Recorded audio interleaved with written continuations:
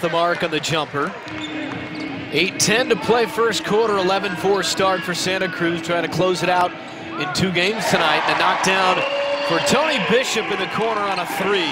Good sign. It's been a while since Santa Cruz has gotten a good look at the basket.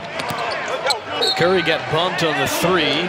Won't see him miss many that badly. Monday night, but RGV with some work to do, down five here in this second quarter after getting their doors blown off in game one. And a three for Tony Bishop out of the corner.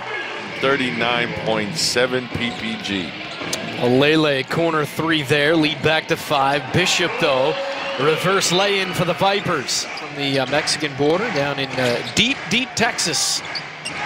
Game two. Goulbourne inside, lost it, got it back, fired out. Well, Lele short here in the third. Corner three off the inbound, off the mark. Rebound offensively and a dunk inside for Dario Hunt. Corner Thompson, not there. One and done again, up ahead.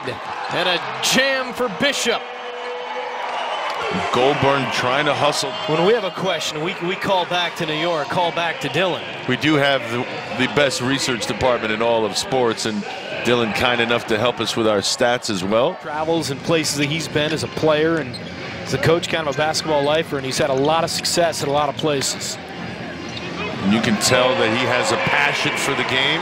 Is a huge factor. He was in game one. Subsequently, you saw Santa Cruz win. Now you can put a little bit of that to home court advantage, but he would be in on that play right there underneath the basket.